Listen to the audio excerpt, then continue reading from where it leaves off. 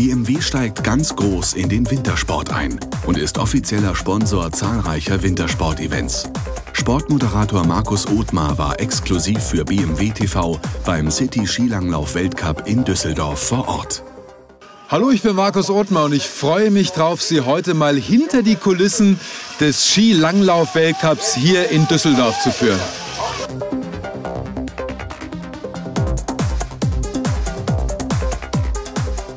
Das ist der Bundestrainer Jochen Behle und der ist, glaube ich, richtig fasziniert von Düsseldorf. Ein Rennen in einer Großstadt, das ist genau das, was der Langlauf immer gebraucht hat. Es ist äh, eine Atmosphäre hier einfach. Wir können mit diesem Wettkampf unseren Sport dem Publikum wirklich nahe bringen.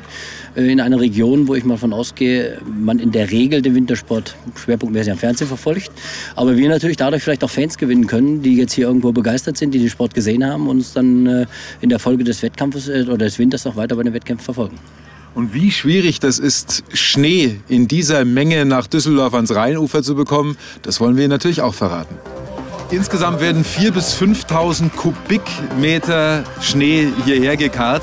Ist das sehr schwierig? Ich stelle mir das logistisch unwahrscheinlich aufwendig vor. Wir versuchen schon im äh, Herbst Schnee auszulagern aus der Skihalle in ein Zelt, was auch gekühlt ist, um Platz in der Skihalle zu schaffen, äh, um mehr Schnee nachzuproduzieren. Nachhaltigkeit, ganz großes Thema bei BMW. Auch für diesen Schnee gilt Nachhaltigkeit. Was passiert danach damit?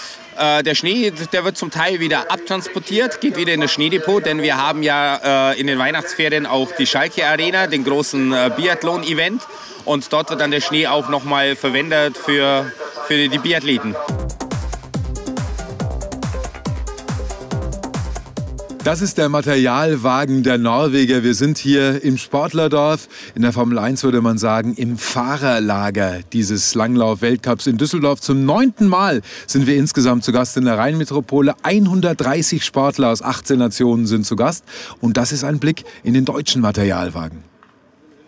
Bei mir ist Peter Schlickenrieder, Langlauf-Legende. Das klingt uralt, gell? Das klingt uralt, aber langsam, peu à peu, müssen wir es fast akzeptieren. Früher war es ja tatsächlich so, Langlauf war irgendwie was für ältere Menschen. Inzwischen ist das eine Trendsportart geworden. Woran liegt das? Also gerade durch äh, die Sprintwettbewerbe, durch den Skating-Stil, also das sind zwei Dinge, die glaube ich sehr wichtig waren. Action, Kampf Mann gegen Mann, Taktik hat Einzug gefunden in den Langlaufsport und generell mit der Technik Skating, die natürlich wirklich eine dynamische Sportart ist, wo man ja wirklich schnell unterwegs ist, die natürlich cool ausschaut und damit eigentlich auch äh, junge Leute anzieht. Schlicki, erklär uns noch ein bisschen was zu den Skiern. Die haben sich ja auch extrem verändert in den letzten 20 Jahren. Ja, Gott sei Dank haben sie sich extrem verändert. Die wichtigste Neuerung ist eigentlich fast die Bindung. Durch dieses Zwei-Achsen-Prinzip, also mit diesem Hebel, ist man jetzt an zwei Positionen fixiert, also vorne und hier. Und dadurch steht man fast so sicher wieder vom Alpinski und kann eben gut runterfahren und vor allen Dingen auch beim Skaten, dieses Ankanten gelingt einfach sehr gut. Also kleiner Einblick in die Welt des Langlaufs. Freuen wir uns äh, auf das Wintermärchen, das du angesprochen hast, dass es vielleicht heute noch wahr wird. Ich bin mir sicher, dass das Wintermärchen wahr wird und ich sage einfach machen, probieren, selber ausprobieren, dann spürt man das Wintermärchen von alleine. Märchenhaft und hart erarbeitet war der Sieg des norwegischen Teams beim Skilanglauf-Weltcup Düsseldorf. BMW Sportmarketingleiterin Carola Erlewein übergab die Preise. Sie waren bei der Siegerehrung hautnah dabei, natürlich auch bei den Rennen. Was verbindet BMW mit den Sportlern? Also die Leidenschaft am Sport, die war einfach zu spüren.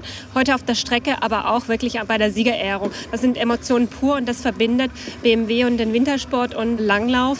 Auch die Zielstrebigkeit, der effiziente Kräfteeinsatz, aber auch eben entsprechend diese sportliche Höchstleistung, die hier erbracht wird. Was sind denn die nächsten Highlights? Wie geht's weiter? Ja, es geht spannend weiter. Im Langlauf freuen wir uns um den Jahreswechsel, Silvesterbeginn äh, auf die Tour de Ski. Und dann im Biathlon freuen wir uns ganz besonders auf Ruhpolding äh, Mitte Januar. Und das alles können Sie natürlich auch hier sehen auf BMW TV.